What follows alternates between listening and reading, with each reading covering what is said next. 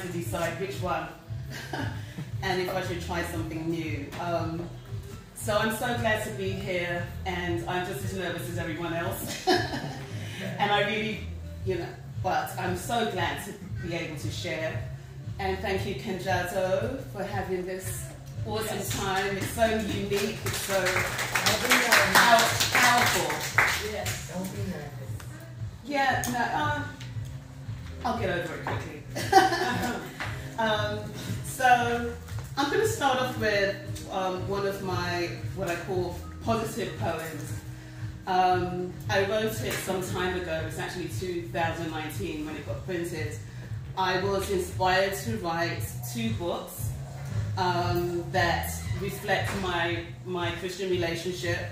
Um, it's a book of um, reflections about encounters with other people, places, and things.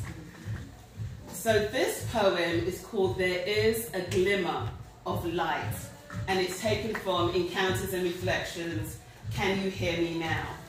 Can we hear God in our encounters with each other, with other, other places and things? So, there is a glimmer of light, a ray of hope, a shining prospect coming through